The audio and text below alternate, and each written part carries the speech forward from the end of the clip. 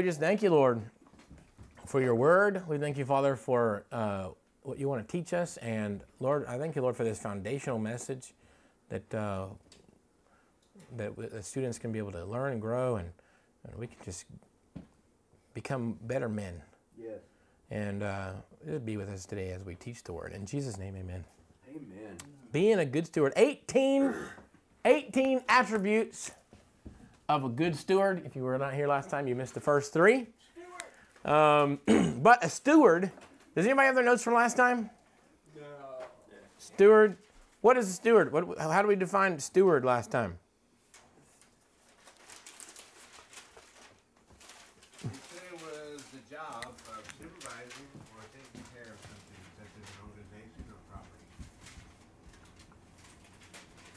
What did I do with it?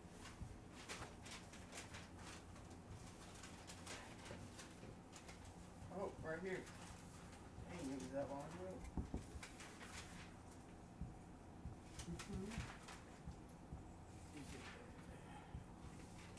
Is the job of supervising or managing something that doesn't belong to you. Stewardship also is to is a servant. It's a servant who acts like a ruler. A servant who acts like a ruler in their responsibilities. Okay? Actually, I'm going to say a ruler and an owner. I think one of the key characteristics of a good steward is someone who takes ownership of everything around them. This means that they never say, That's not my job. Let me say it again. A steward never says, That's not my job. Obviously, when you're in leadership, you do have to delegate and give responsibilities to other people. So you might say, hey, look, that's not my job. I've delegated that to you. However, what I mean by this is their heart attitude is not, that's not my job. Okay? They do not have a heart attitude that pawns off responsibility. So, a, a, that's what a steward is. A steward is a servant who never says, that's not my job. And the reason why is because a steward knows that everything is his responsibility. Okay? Um, if the place is falling apart, that's my responsibility, right? If you live here and you've been given the house and things are not clean, it's your responsibility because you've been stewarded. Does that make sense? Uh, the, the, to be a steward is to have something literally given to you. It's handed to you to take care of. Okay? And I'm going to say this anything in your life that you have direct influence over is uh, something God has stewarded for you to take care of. Okay? Now obviously you can't overcommit and, and you know and try to help every single person in the world and you know what I mean you would never be able to do that, okay? But what you have to ask yourself what has truly been given to me? What is truly by God give, been given to me to take care of, okay? To enhance. And last week we talked about cultivating the, uh, part of a steward is to make things better. Part of a steward is to protect things.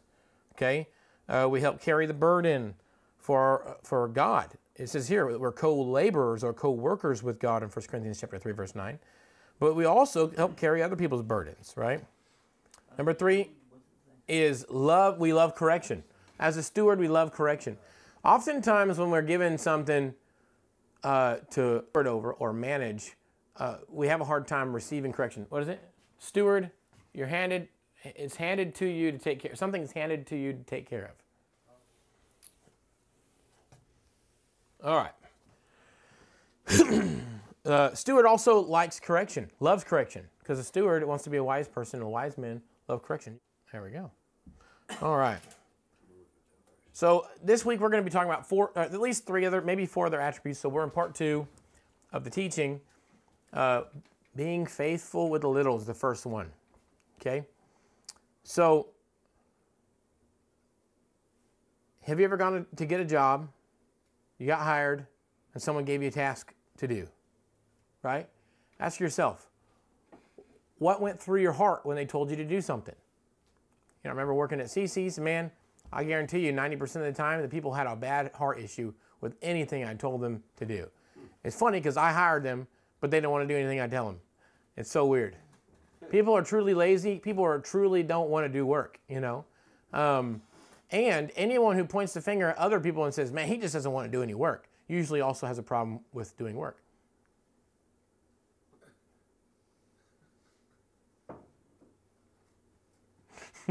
Make sense? Yeah.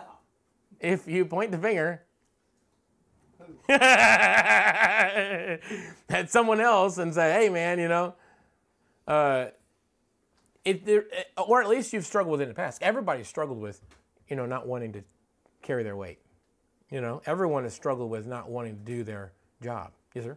I don't mind the work. It's just that I have problems writing sometimes, and it discourages me. You know what I'm saying? It depresses me because. All right. That's a good point.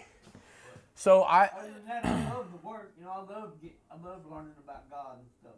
You're right. There's there's sometimes underlying issues when people um, have work problems. You know, they're, and we might automatically um, attribute it to their work ethic, but it may not be their work work ethic. Maybe they're just discouraged.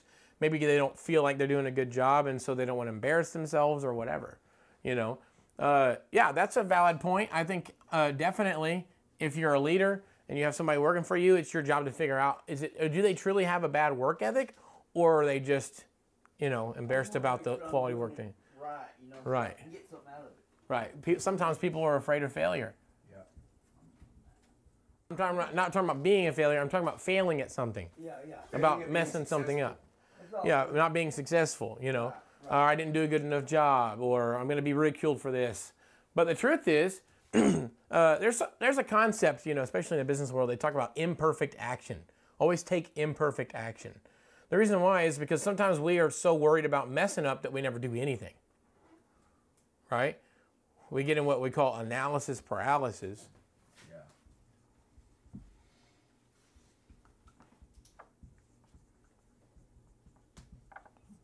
I would rather someone try something and fail than sit there and do absolutely nothing because they're afraid of failing. And God is the same way. That's why He does the parable of the talents when He says, Oh, I hid the talent you gave me because I was afraid. Right? I knew you reap where you do not sow.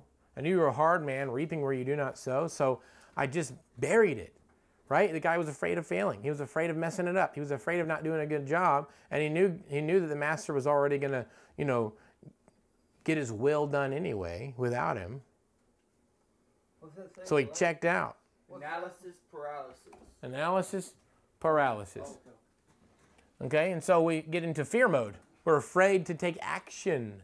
Say it again. We're afraid to take action um, because we're afraid to fail. Okay, or we're going to mess up or whatever. it's sometimes better just to go ahead and take imperfect action.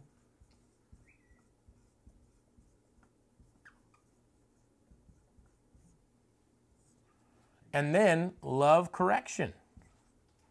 Yeah. Let me say it again.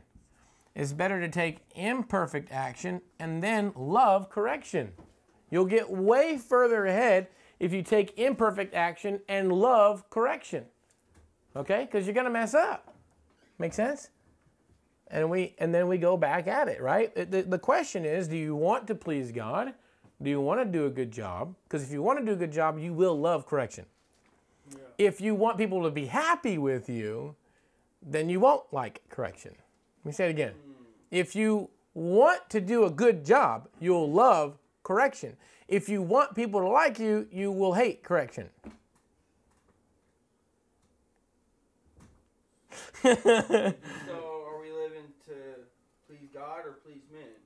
Right. That's really the borderline thing. Well, and this this goes with correction from God or correction from people, uh, because when we're talking about here, you know, even if you're if you're submitted to some leader or whatever, the leader's going to correct you. yeah. right? So you have to be willing to receive correction from the leader too, not just God.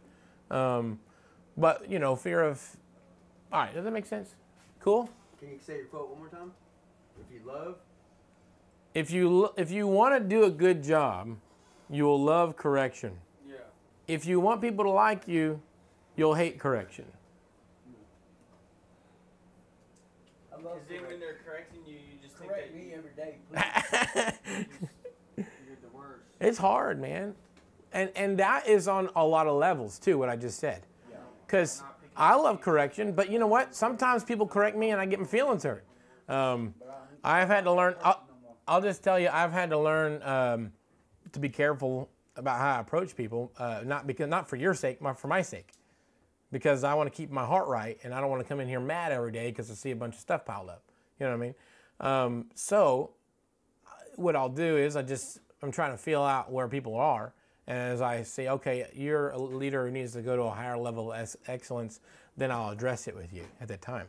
And but the problem with that is a lot of people think I'm just being slack. When the truth is, I'm just trying to protect my heart because I can come up here mad every day. You know, I do the same thing when I go home. I got six kids, right? You think that house is going to stay clean? Heck no, right? So it's a constant correction all the time, right? Anyway, but you have to learn to keep your heart right and, and realize that um, it's not something you're going to perfect. It's these types of things like clean, cleanliness and keeping things in order. It's, you're not going to perfect it. Uh, You, you'll run yourself in the ground, Yeah. right? No, you've got to constantly be working on it all the time. Right, right. You know what I mean?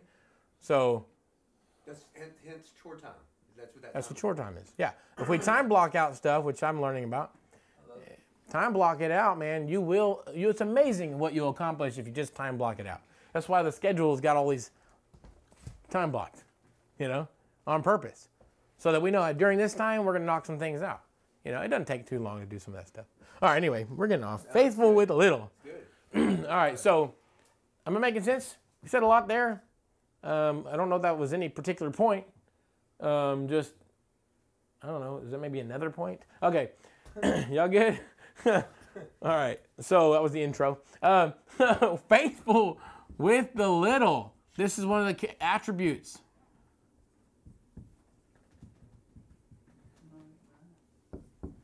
Attribute number four, faithful with the little, and you can also see it up here on the on the TV screen, if that helps you.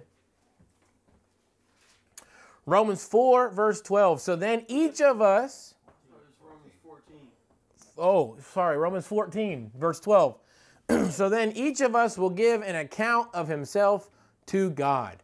Okay, now that's true in the heavenly realm, but it's also true on earth. We will give account to those that we submit to in leadership, right? now, people might look at Zach and say, Hey, Zach, you know, you're the boss of the barracks and the ministry, and who do you answer to? I, I'm not autonomous. I answer number one to God. Secondly, I also answer to our donors. Every what if what am I supposed to say to the people who donate to our ministry? You know, at the end of the year, I give a report and I have to tell them what we're accomplishing. You see what I'm saying? So there's not a lack of accountability. There's actually the higher you go, the more accountable you are, and the higher you go, the more people you have to answer. Let me say it again. The higher you go. The higher you go, the more accountable you are. And the higher you go, the more people you must answer. Okay? If I have a, a, a, a, a team of 100 people who are my employees, I have to answer those people as a leader. Does that make sense? You might not think so, but I do. Okay? the higher you go in leadership, the more people you have to answer, and the more intense your judgment is from God as well. The Bible says many of you shouldn't be teachers, for you should know that teachers will be held to a higher standard. Right? We are held to a higher standard. This life is something we are to steward and we will give an account. Matthew 25, verse 14 through 30. So we're probably not going to get to point five or six because I just realized we're about to read some really big parables. So let's go over to Matthew. Matthew. Matthew. Matthew. Matthew. Matthew chapter 25.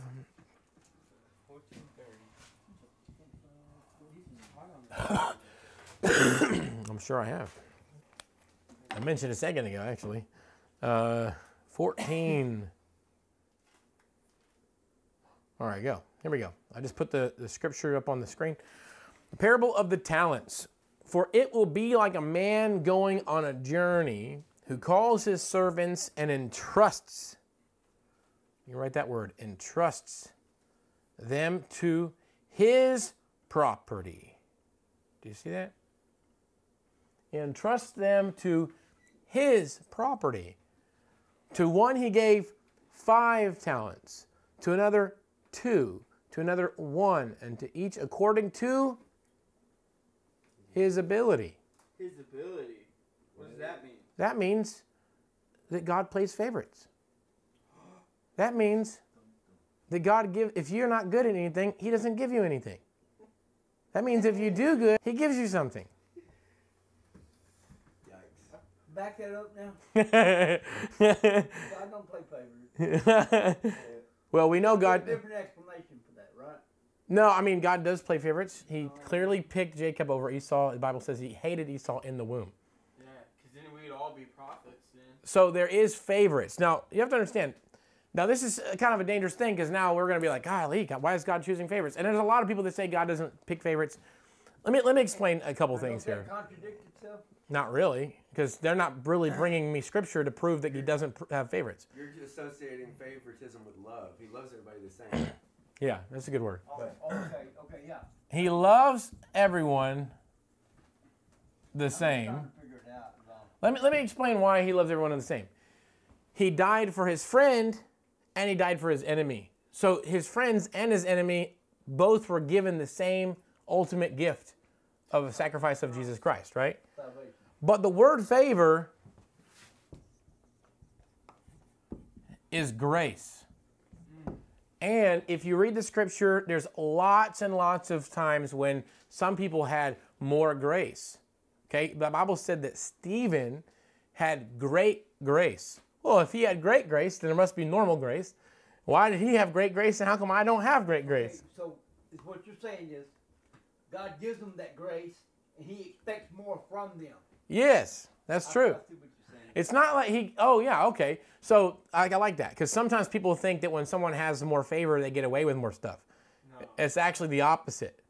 the people who have more favor from God usually die quicker when they disobey. There's a prophet that the Bible says he went. responsibility. Yeah, let me let me read a scripture to you, and you can see if you want to be God's favorite or not.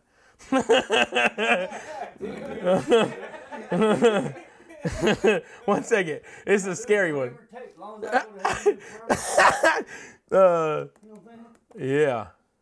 So is there different heavens, levels of heaven then? Like when did the favorites get the VIP pass? Now you're getting on to something else. Yeah, I am. We gotta stop going down the rabbit hole. it's going to be First Kings chapter 13. This is one of the reasons why we don't want to talk in the middle because I want to answer your questions and then get off sidetracked. Um, so this last thing I'll say, okay? But I, I feel like I said something that kind of like curled the skin. So And it makes it hard to edit. uh, let me go. It's all right. It's okay. We'll, we'll, this fits in. I can make this fit in. All right. Down for me, now thank you. Yes. Uh, 1 Corinthians 13. And a man, oh, uh, behold, a man of God came out of Judah by the word of the Lord to Bethel. Jeroboam was standing by the altar to make offerings, and the man cried against the altar by the word of the Lord and said, O altar, altar, thus says the Lord, behold, a son shall be born to the house of David, Josiah by name, and he shall sacrifice on you the priests of the high places, who make offerings on you, and human bones shall be burned on you. He's talking about the altar. And he gave a sign the same day, saying, This is the sign that the Lord has spoken. Behold, the altar will be torn down, and the ashes that are on it shall be poured out. And when the king heard the saying, the man of God, of the man of God, which he cried against the altar of Bethel, Jeroboam stretched out his hand from the altar and saying, Seize him, and his hand which he stretched out against him dried up, so that he could not draw it back to himself. The altar also was torn down immediately. So as his hand got crippled, the altar was flipped over, and the ashes poured out on the altar according to the sign the man of God had given by the word of the Lord. And the king said to the man of God, Entreat now the favor of the Lord your God and pray for me that my hand may be restored to me. So clearly, this prophet had a measure of favor with God that Jeroboam did not. Right. And he was asking the man of God to ask to, to heal him, right? And the man of God entreated the Lord, and the king's hand was restored to him and became as it was before. And the king said to the man of God, Come home with me and refresh yourself, and I will give you a reward. And the man of God said to the king, If you give me half your house, I will not go in with you, and I will not eat bread or drink water in this place, for so was it commanded to me by the Lord by the word of the Lord, saying, You shall neither eat bread nor drink water nor return by the way that you came. So he went another way and did not return by the way that he came to Bethel. Now, an old prophet lived in Bethel, and his sons came and told him all that the man of God had done that day in Bethel. They also told their father the words that he had spoken to the king. And the father said to them, Which way did he go? And the sons showed him the way, and the man of God came from Judah, who came from Judah, had gone. And he said to the disciples, I mean to the sons, saddle the donkey for me. So they saddled the donkey for him and he mounted it and went after the man of God and found him sitting under an oak. And he said to him, Are you the man of God who came from Judah? He said, I am. Then he said to him, Come home with me and eat bread. And he said, I may not return with you or go in with you, neither will I eat bread nor drink water with you in this place. For it was said to me by the word of the Lord, you shall neither eat bread nor drink water there, nor return by the way that you came. And he said to him, I also am a prophet, as you are. And an angel spoke to me by the word of the Lord, saying, Bring him back with you into your house, that he may eat bread and drink water. But he lied to him. So he went back with him and ate bread in his house and drank water. And as they sat at the table, the word of the Lord came to the prophet who had brought him back. And he cried to the man of God who came from Judah, Thus says the Lord, because you disobeyed the word of the Lord and have not kept the command that the Lord your God commanded you, but have come back and have eaten bread and drunk water in the place of which he said, You shall not eat bread and drink water, your body shall come to the tomb of your fathers, or shall not come to the tomb of your fathers. And after he had eaten bread and drunk, he saddled the donkey for the prophet, whom he had brought back. And as he went away, a lion met him on the road and killed him and his body was torn or thrown in the road, and the donkey stood beside it. The lion also stood beside the body and didn't even eat it. And behold, the men passed by and saw the body thrown in the, in the road, and the lion standing by the body, and they came and told it to the city where the old prophet lived. And when the prophet who had brought him back from the way of, of it heard of it, he said, It is the man who disobeyed the word of the Lord, which you lied about, you dummy.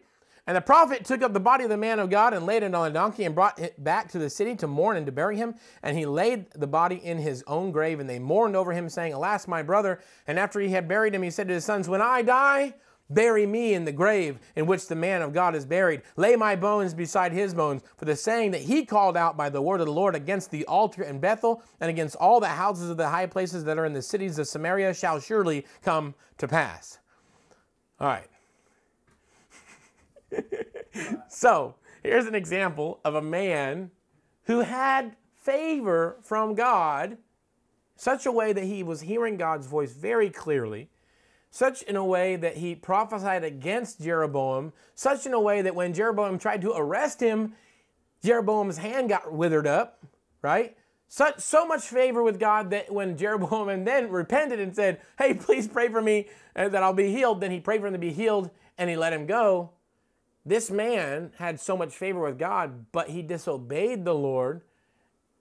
And you don't see this happen By believing a lie. with other people. Yeah, by believing a lie. You don't see this with other people in the Bible that are kind of not not God's favorites. You know, it's the, the people who are God's favorites, they get harsher punishments and quicker. Right.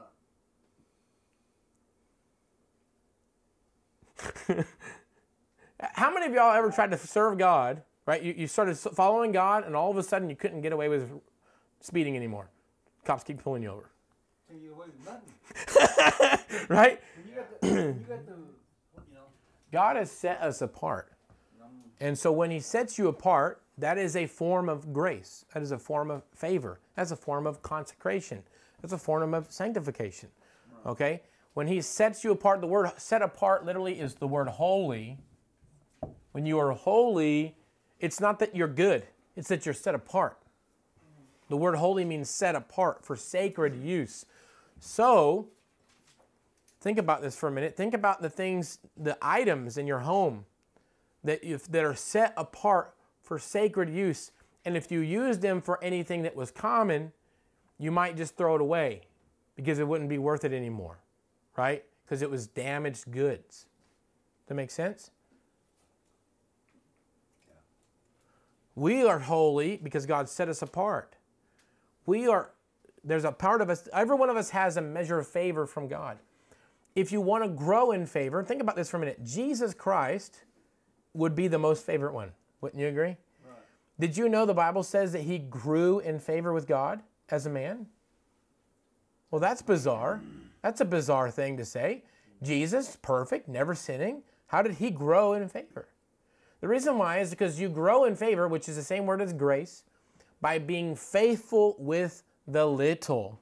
If you're faithful with the little, you will grow in favor with God and you'll grow in favor with man. He'll give you And he'll give you and he'll give you more. Okay? Does that make sense? so let's get back over here. You guys back over here into the parable of the talents. That's not the NIV Bible, huh? This is the ESV. All right. I'm doing it. Mine's different. Oh yeah, it's slightly different. okay, cool. Y'all got all that? Yes, sir. It was a long Bible uh, little thing, but it was good because it was about the favor of God. And um, a steward is someone God's given favor to. God- we've all been given favor, okay? There, we've all been given what's called unmerited favor, and then there's the favor that's not merited, that's not unmerited. You do have to merit it. And that's what we're talking about here. As you grow in stewardship, God gives you more. That is a form of favor. He's giving you more grace. This is the reason why, how do I know that? Um, I have other teachings, we're not going to get into this. I have other teachings that talk about this, about grace, and how there's three ways to get grace through knowledge, humility, and by faith.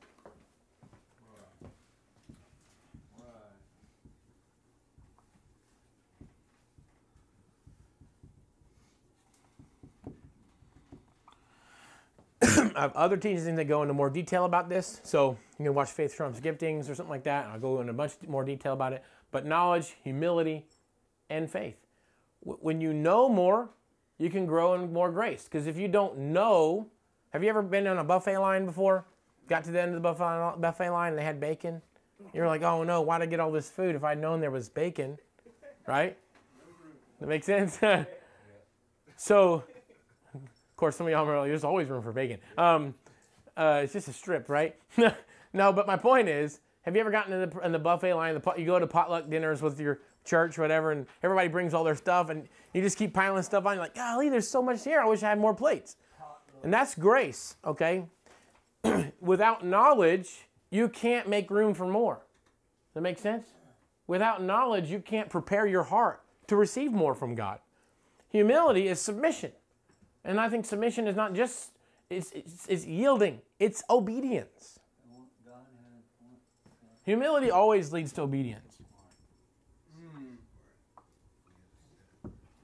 You ever heard that phrase? It's not real submission until you and I disagree. Right? We don't agree, but you still obey. That's submission, okay?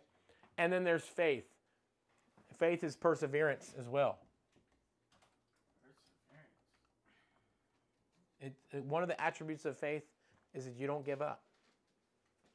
That's why we have um, have faith in me and be faithful to me. Faithful means I eh, come through also, right? So, make sense? It's good stuff. Faithful means I come through too. Okay, so if I put faith in someone or something, I'm expecting it to be dependable. But if I'm faithful, that means I'm going to be the one who's dependable. Okay? Faithful. So the word faith is, is a two way street. Okay. That makes sense? All right. Let's get back to this one. Let's let's try to let's try to finish out this uh, point of faithful with the little, which is the point we're on. Faithful with the little. um, then he went away. Okay, so to one he gave five talents, to another two, to another one, each according to his ability. Then he went away. He who had received the five talents went at once and traded with them, and he made five talents more. So also he who had the two talents made two talents more. But he who had received the one talent went and dug in the ground and hid his master's money. Y'all realize that the, the parable of the talents is not talking about your gifts and your talents, it's talking about money. God is a businessman. He's a businessman. no, it was their money. The talents, if I'm not mistaken, uh, let me look up the word talent. So this parable, It's a great sum of money, okay? So a It's par- like 50 pounds of gold, dog. how much Hey, I have, money I have a is a Bible talent? That tells you how much a talent is. I can look it up. Right? 6,000 denarii. Okay. Talent. A talent was about 75 pounds. So that's 75 pounds of gold. 75 pounds of gold. Pounds off. You know how much an ounce of gold is? Well, 28 ounces. So, uh, according to this one here, one gram uh, costs $38 of gold. At this price, a talent, 33 kilograms, would be worth about 1,000, no, 1,400, 1,400,116 and 57. That's how much a talent is. One million. The New Living Translation calls it silver. It could be. It could be silver. Uh, so here's the deal, guys. God, uh, God is all. You know, even the guy who had one. That's a lot of talents to dig. one talent. He dug at one million. He he buried a million four hundred dollars.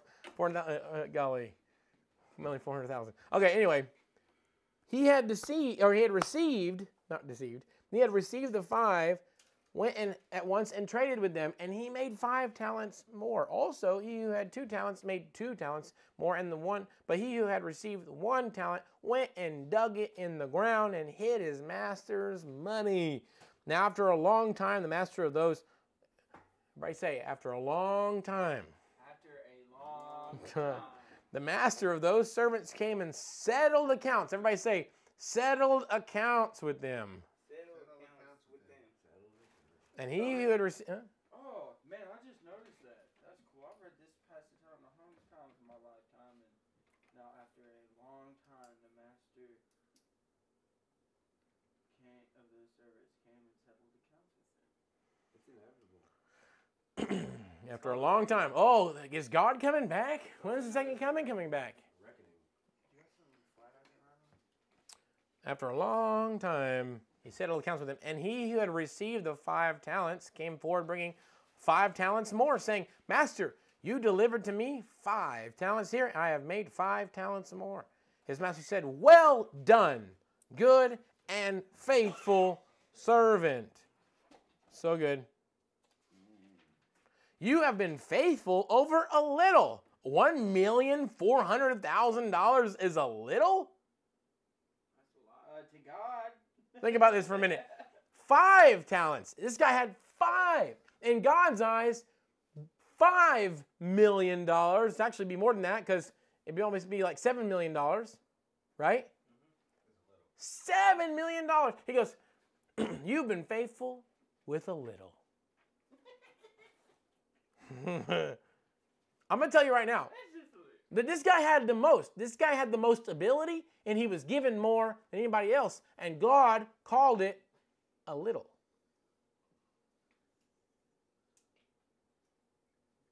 So, whatever you have right now, it doesn't matter if you have a little or a lot, it's still a little. It doesn't matter how big your ministry gets, it doesn't matter how big your business gets, how big your family gets, how big your bank account gets, it's always a little. Always a little. Okay?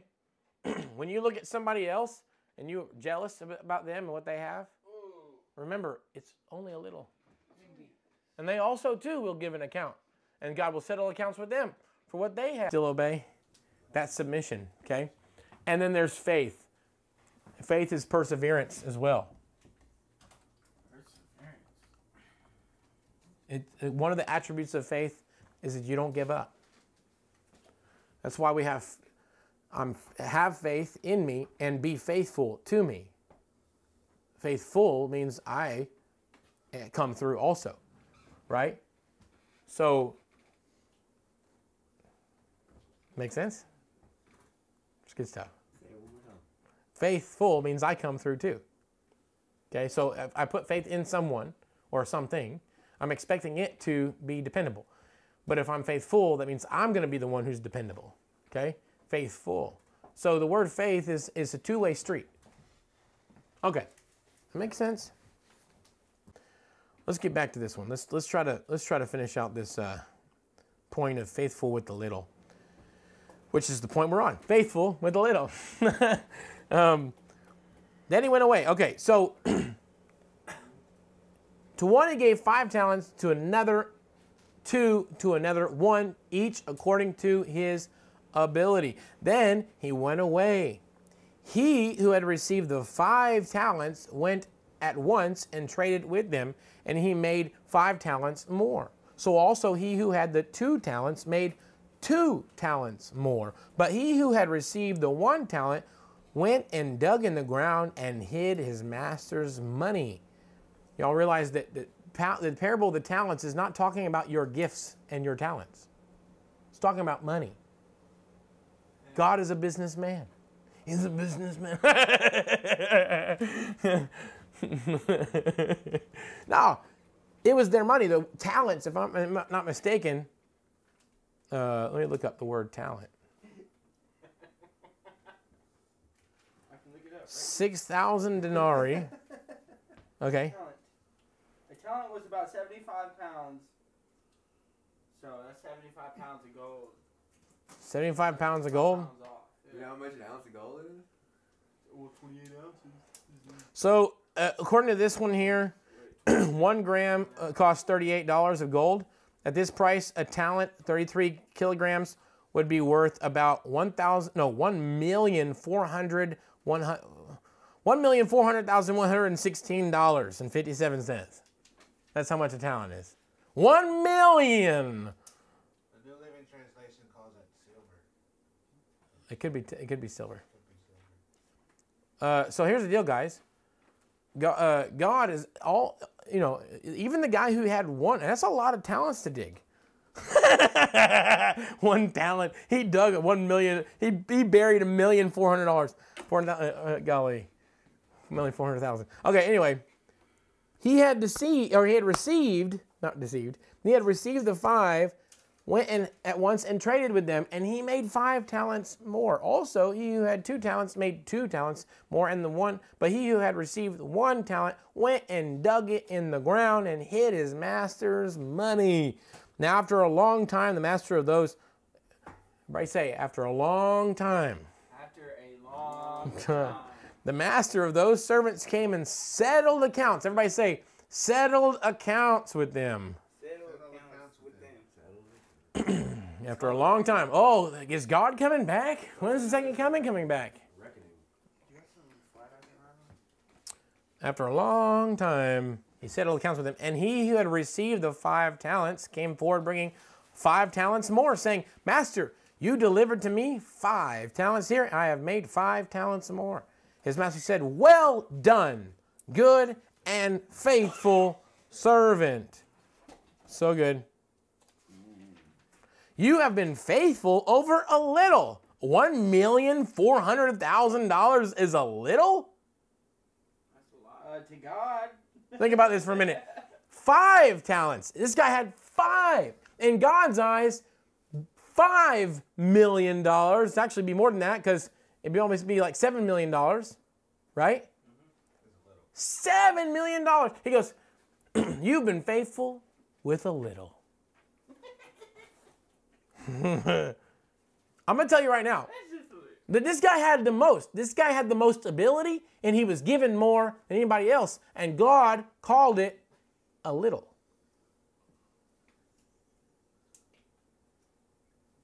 So, whatever you have right now, it doesn't matter if you have a little or a lot, it's still a little. It doesn't matter how big your ministry gets, it doesn't matter how big your business gets, how big your family gets, how big your bank account gets, it's always a little. It's always a little. Okay? when you look at somebody else and you're jealous about them and what they have, remember, it's only a little. And they also, too, will give an account. And God will settle accounts with them. So why don't you pay attention to yourself? Don't envy other people's stuff. Yeah, you know, when you stand before God on Judgment Day, He's not going to even listen to your complaint about, well, so and so had so much more than I did. He's like, who is He's going to say, I know, I gave him more because he can handle more than you, doofus. What'd you do with your? He'll say, What did you do with yours? He'll say, We're not talking about so and so who had, you know, $10 million in their bank account. We're talking about you. You only had $5 in your bank account. What'd you do with it? You have been faithful over a little. Watch this. I will set you over much. What?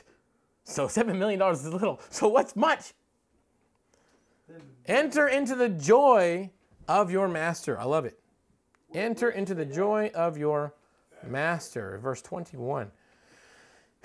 and he also, who had two talents, came forward and said, Master, you delivered to me two talents. Here, I have made two talents more.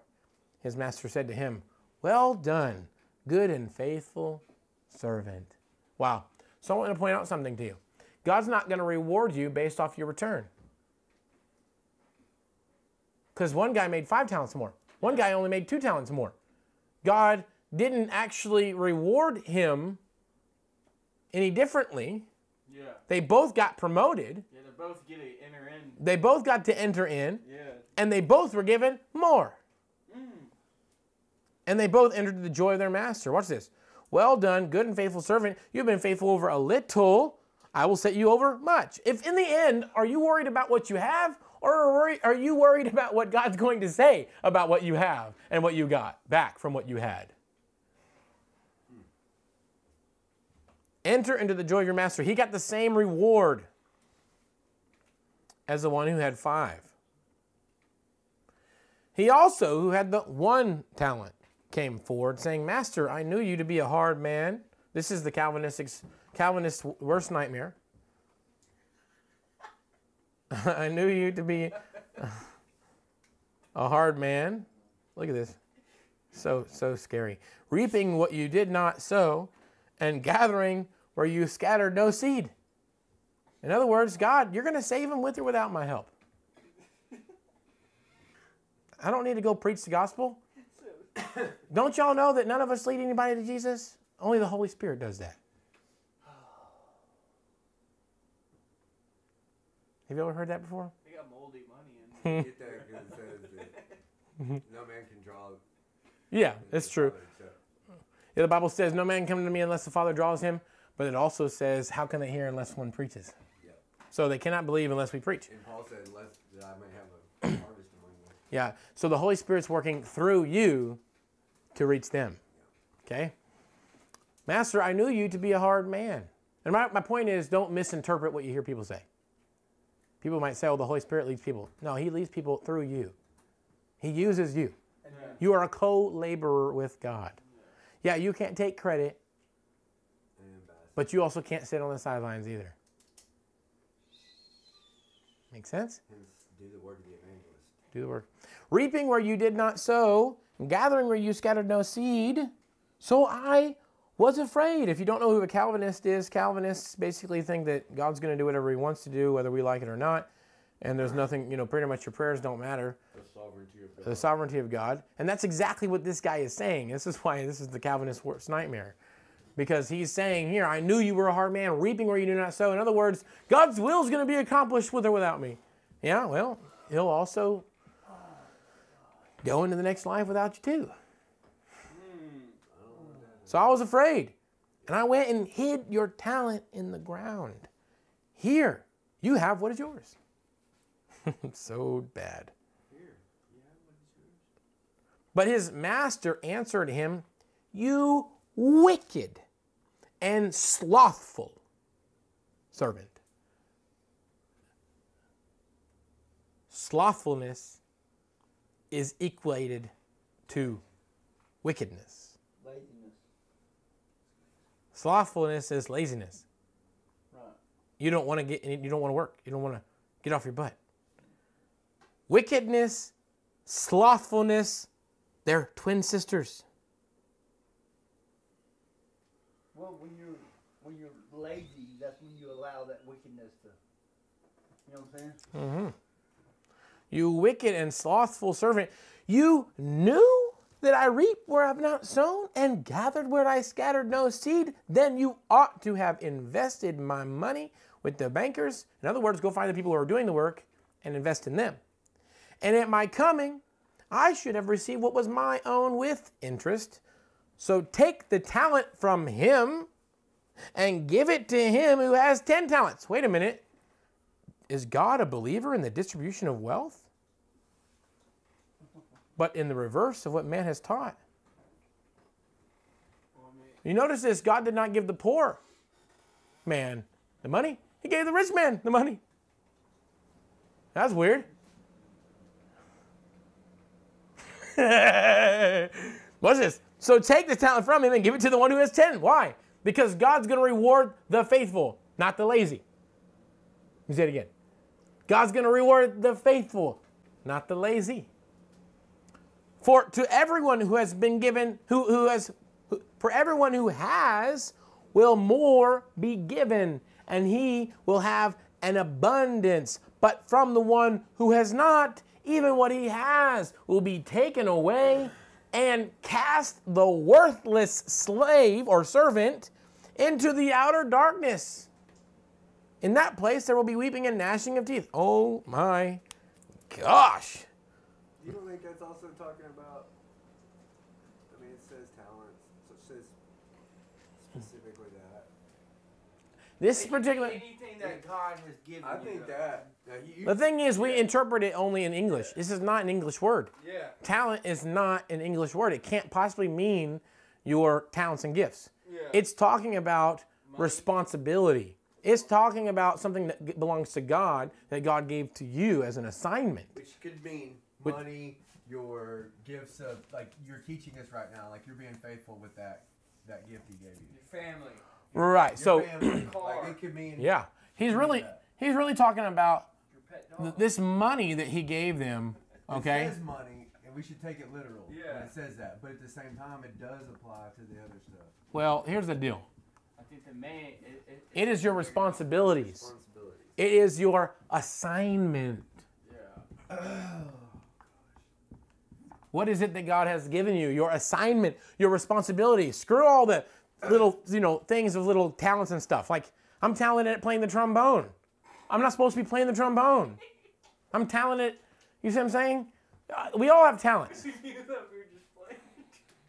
I mean, I play the guitar. I'm a musician. I am using music, but but that's beside the point. Like, what God, can can God's assignments and responsibility be manifested in a talent that you have? Yes, but I think we really misunderstand um, the point of the passage when we say talent, because what that means is, oh, I have a talent. God wants me to go do. Oh, I'm really good at trading stocks, so I'm just going to go trade stocks. Yeah, but if you go trade stocks and it doesn't do anything for the kingdom of God, then it's nothing. It's worthless. Because what God's going to assign you has nothing to do with self gain. It's about what you can gain for the kingdom of God. You're going to bring it back to Him. And He's going to say, Oh, well, you built your own stuff, but that wasn't mine. Are we building God's kingdom or are we building our own kingdom? He's going to say, Oh, well, that's a worthless kingdom. That's why, let me show you another, let me show you another scripture. uh.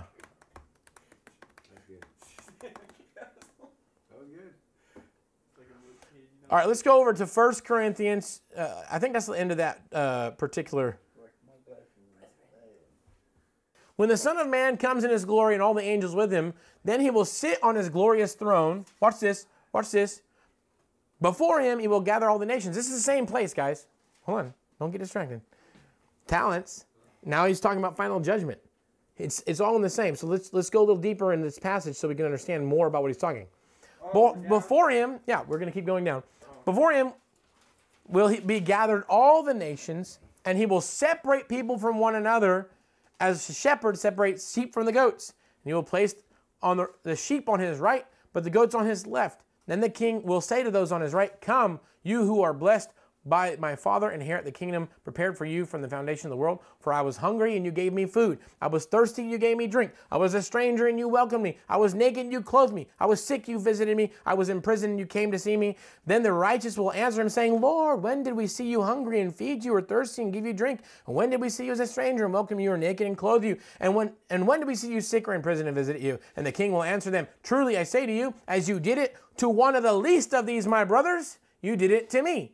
So Jesus always told parables in a couple, in like in a group setting to further drive in the point. So, what is the talent? It's the people God gave you to minister to. I don't care what level of life you're at. If you're a mother and you have one kid, that's the person God's shown to you. If you're a father and you have, you know, if you're a manager of a store and you have five employees, That's your field. that's your mission field, right? Everywhere you're at. So notice that he, when he talked about the talent, then he shares another parable, but he's talking about meeting the needs of the least of these. Now, this is not just talking about people who can give something back to you. A least of these, if you want to qualify what a least of these is, a least of these is someone who can't give you anything back.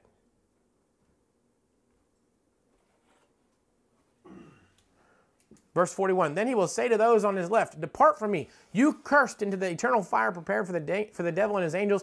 For I was hungry, and you gave me no food. I was thirsty, and, gave, and you gave me no drink. I was a stranger, and you did not welcome me. Naked, you did not clothe me. Sick in prison, you did not visit me.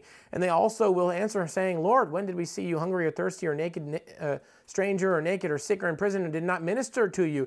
Then he will answer to them, Truly I say to you, as you did not do it to one of the least of these, you did not do it to me. Now that is scary right there because it fits perfectly with the parable of the talents. They weren't cast into eternal flame because they did something bad.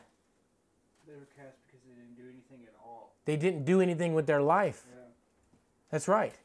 They actually were cast into eternal flame because of their negligence of duty. And these will all go in eternal punishment, but the righteous into eternal life. Look at this. The parable of the talent, the last guy who buried it is the are, he is equated to the goats on the left who saw who did not meet the needs of the least of these. You see what I'm saying? This is the life. Now, now am I going to say we get saved by our works? No. That's where I was going. What is this a picture of? This is a picture of a, of a life truly changed by Jesus Christ. When you are judged on the final day, you're not going to be you're not going to be let into heaven because of your good deeds. That's why they didn't get cast into hell. Look at this. They did not get cast into hell for their bad deeds. They got cast into hell for their lack of good deeds. Now that's backwards because we always talk about, well, if you sin, you'll go to hell. Well, no, we're already destined for hell because of our sin. Jesus Christ came and died on the cross to give us a new life, to forgive us of our sin. Now sin doesn't send us to hell anymore. You know why? Because you've been forgiven. Amen. What is he talking about here? He's talking about fruit. Fruit. Fruit. Those who are in Christ are not judged by their deeds, they're judged by their fruit. Let me say it again. Those who are in Christ are not judged by their deeds, they're judged by their fruit. Are you truly of the faith? If you are truly of the faith, then you will serve the least of these. You will, if you're truly of the faith, you will not bury your talent. Every church has that problem. I know. Every church has that problem. The church. I'm not judging them. Yeah. All right. Actually, it is a judgment. Last thing I'm going to read. Last thing I'm going to read because uh, we ran out of time. Um, yeah, we definitely ran out of time. I say something now teaching? Yes. 1 Corinthians chapter 3. All right, here we go. First Corinthians 3. 1 Corinthians chapter 3, verse 15. According to the grace of God given to me like a skilled master builder, I'm in verse 10. I laid a foundation and someone else is building upon it. let each one take care how he builds upon it. For no one can lay a foundation other than that which is laid, which is Christ Jesus. Now, if anyone builds on the foundation with gold, silver, precious stones, wood, hay, straw, each one's work will become manifest. For the day, which is the day of the Lord, the judgment day, the final account we're going to give to him, because we have to be faithful with a little. For the day will disclose it, because it will be revealed by fire. Is this um 15 or 10? I'm in verse 13 now. Each one's work will become manifest for the day.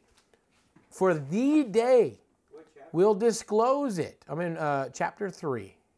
1 Corinthians 3, I'm in verse 13. Each one's work will become manifest. In other words, it's going to come up to the light. It's going to be revealed what he did. And then the day, the judgment day, will disclose it because it will be revealed by fire. And the fire will test what sort of work each one has done. And the fire, I'm to say it again, will test what sort of work each one has done. If the work that anyone has built on the foundation, which is Jesus Christ, survives, it will receive a reward. If anyone's work is burnt up, he will suffer loss, though he himself will be saved, but only as through fire. Look at this. If anyone worked is burnt up, in other words, if you got saved, your foundation is Christ, Amen. and then you build the house after you're saved, and it is worthless, listen, and the house is worthless because you made it out of hay and stubble, then when the fire comes, it'll burn up your house. And all of the work you did for 20 years in your life will mean nothing. You'll still have the foundation. You will be saved, but you will suffer loss.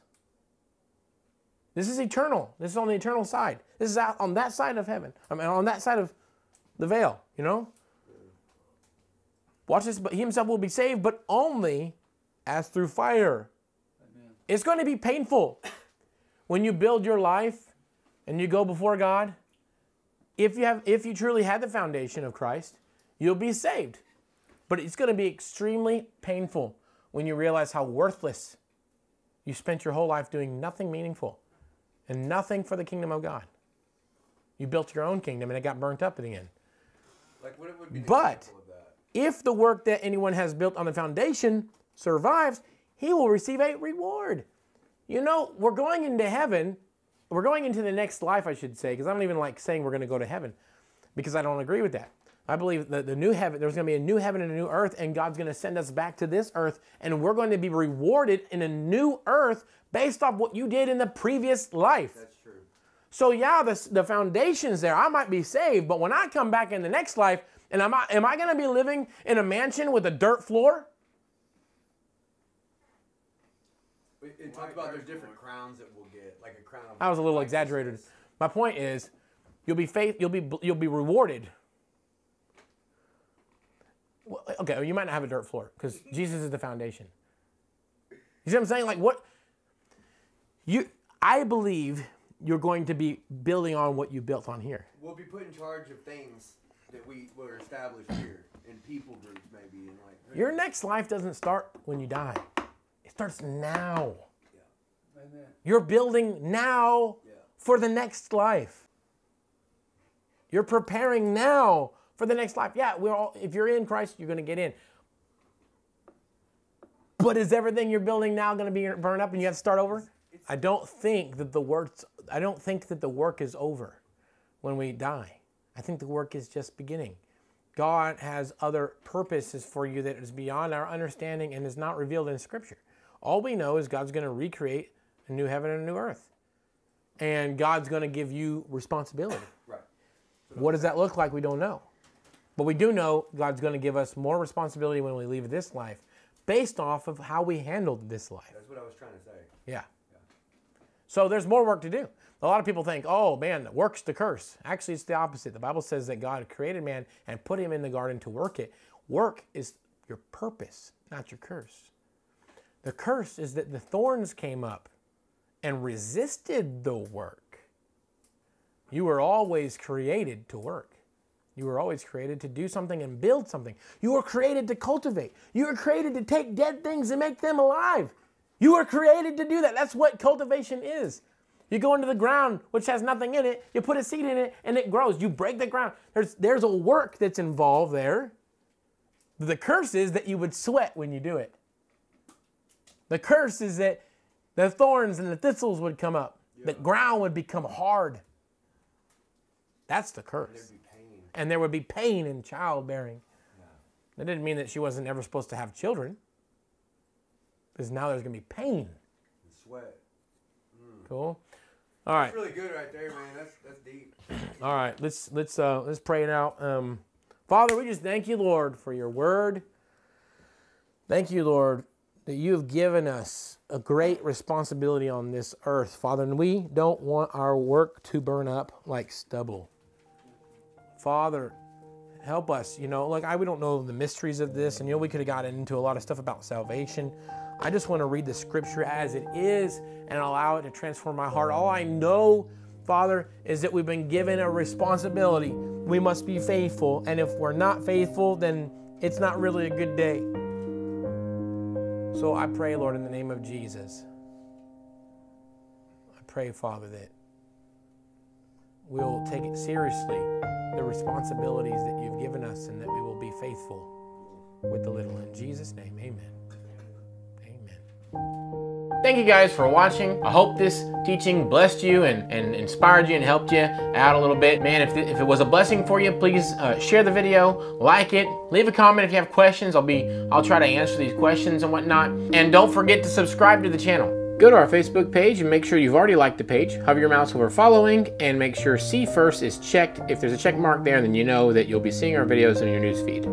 Also, if you're wanting to support our ministry and help fund missions work and help uh, support drug and alcohol recovery, please go to our website, boldasalionministries.com or www.balmzs.com and you'll see here there's a donate button. You just hit this donate button right there. It'll give you an opportunity to, to sow into the ministry. Right there, you can see Bold as a Lion Ministries. You can give 30 bucks a month, $50 a month, or $100 a month, or just a one-time gift if you want. Also, you can go to our website, 3rcandles.com. Remember, all the candles are handmade by our students in recovery, and so you can select from our wide range of products. I mean, we just have tons of candles you can see right there. And also, be sure to sign up for the VIP offers. We can get 25% off your next purchase. You'll be able to receive offers we have. We're also going to be doing some free test strips for as well. So make sure that you sign up right here and, and all that good stuff. So have a good day.